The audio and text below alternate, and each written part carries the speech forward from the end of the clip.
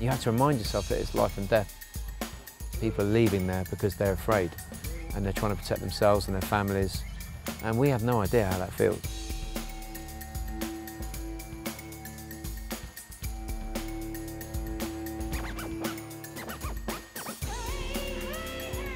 Just trying to reinforce the idea that there is a solidarity between all of us. For me, it's about reminding people of compassion.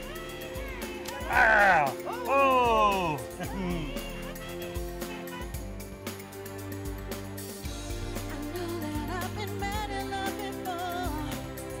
It's always been about feeling what can we do about this, what can we do?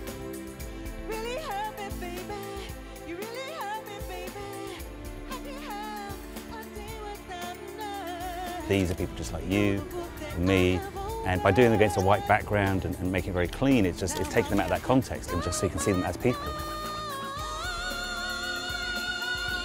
And when we get to your photographs, it does feel like something real. It just feels like it's there, it's present.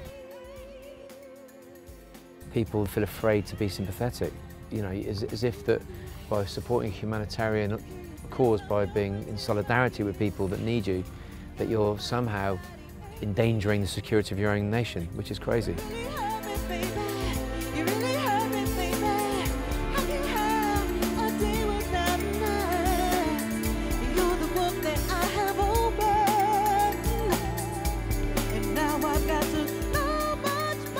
pretty much saying, listen, regardless of all this shit, we are in this together, all of us, you know.